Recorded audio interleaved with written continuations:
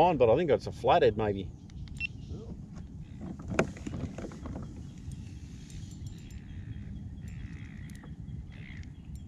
Don't know if you can see me, it's a bit dark at the moment. But welcome to another episode of Crebo's Fishing Adventures.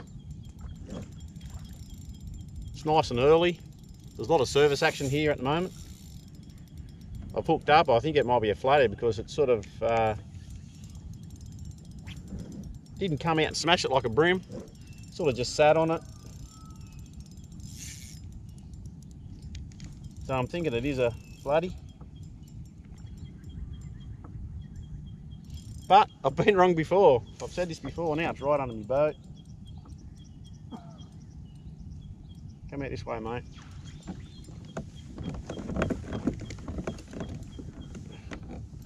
Haven't even got me haven't even got me net ready.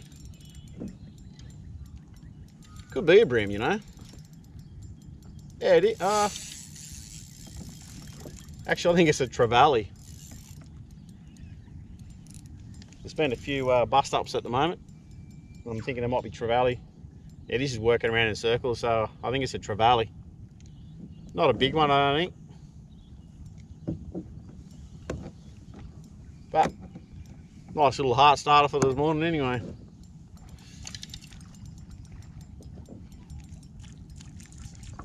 Oh. A bit. Well, you've got some light gear on. Let's get me net. Oh man, I hope he doesn't get under me drive here.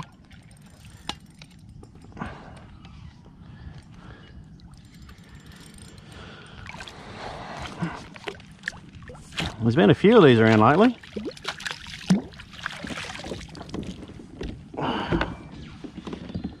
Okay, well that's a nice little start I suppose. Maybe that's what's uh, cutting the water up here at the moment. So we paddled out and there was a lot of service stuff going on. So I'd say it's these, these fellas. There it is. Trevally absolutely engulfed that lure. I can't even see it. There's some surface thing, surface um, action at the moment. Hopefully I can get this lure out. Bloody hell, I don't know if I can, eh? It's down deep. And that bream prawn. Yeah, well that's a 40, I don't know, 42. 42 centimetre grunter.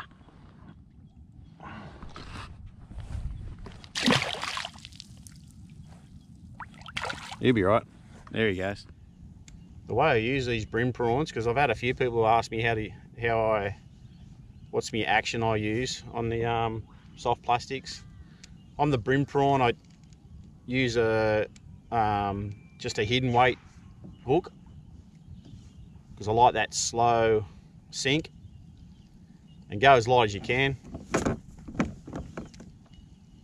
to suit the conditions. Obviously if it's windy you might have to get a, a heavier hook or a heavier um, hidden weight hook.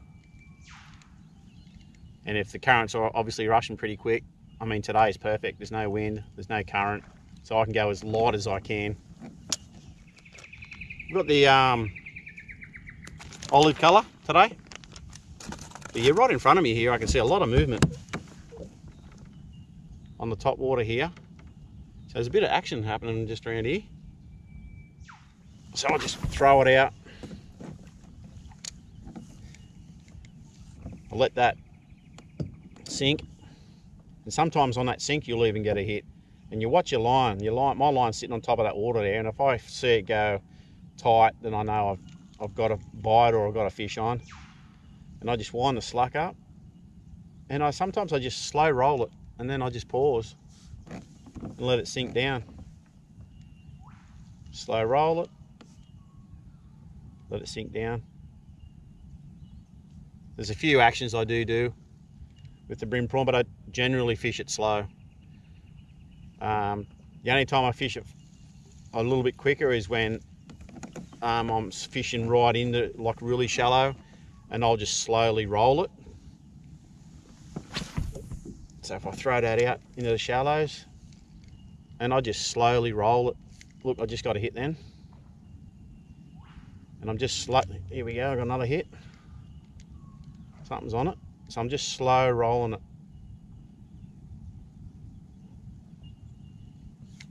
Oh.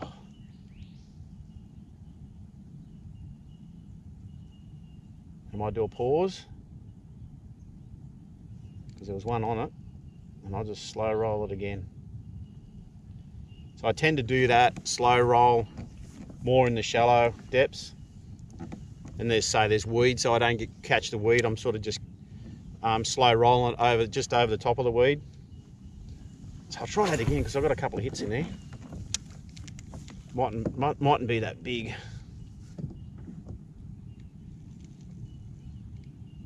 So slow roll it. Slower the better, to be honest. Just so you can get it that bait down into the column, into that strike zone. Another action I like doing with the bream prawn is I'll throw it out as far as I can, let that naturally sink. Wind in the slack. And I'll just give it a couple of, just a couple of tweaks. And then pause. Then I wind in the slack, couple of tweaks, pause.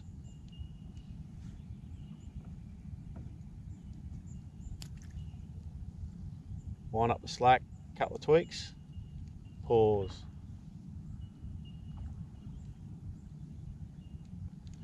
wind in the slack. Oh, there was something on it then. Nothing big though. Nothing big.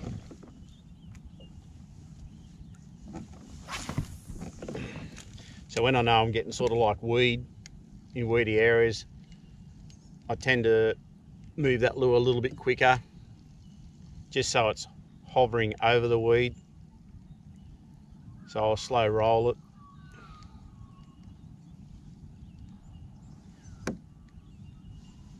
And if there's something hiding in that weed, it will dart out and grab it. Got another. Oh. Wow. Strip me bait. Look at that. Don't know what that was. Might have been a, a bream or maybe another trevally, I don't know. But it actually just stripped stripped me bream prawn straight off. So now it's really shallow in there. I'm just working this, this goes all the way out for a while. I'm just working that edge. And sometimes when your bait gets um, messed up like this, sometimes I pull it out and I just turn around and rehook it the other way. So you get a couple of goes at this bait. But as you can see on the um, sounder there, there's a lot of weed down the bottom. So I'm just working above that weed.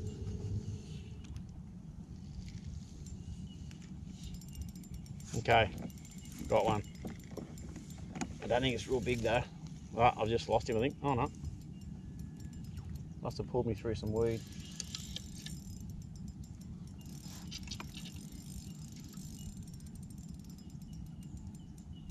It's only small though We might even just lift this one in. There we go.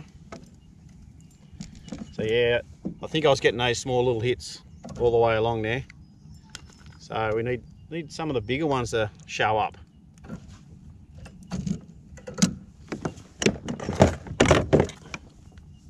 You had a couple of goes of that.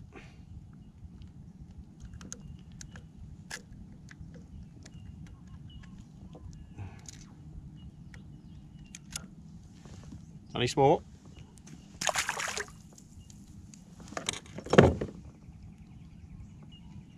So yeah, that lure's still okay. But I think the key with the bream prawn is to go light as you can on your um, on the weight of your hook.